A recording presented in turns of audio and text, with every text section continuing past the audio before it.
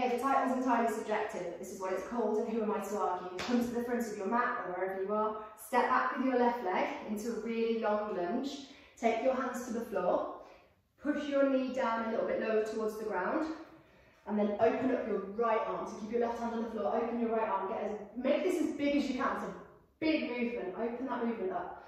Take your hand back to the floor, then you're to push your hips back and stretch your front leg. Nice and straight, so stretch that right leg straight.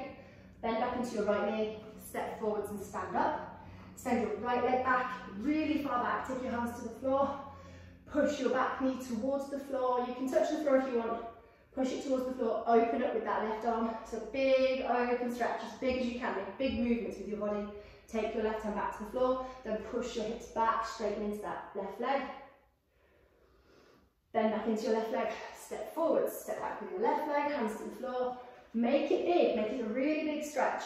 Push your hips and knees towards the floor, make a little bit of like elasticity and bounce in them. You can put your knee to the floor if you want, but see if you can hover it. Open your right arm out, nice and big. Get as much distance between your bottom hand and your top hand as possible. Make it exaggerated, lean back, take your right hand to the floor, push your hips back, stretch into that front leg.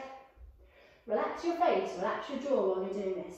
Then back into your front leg, step back, do it one more time on the right, step your right leg back, hands to the floor.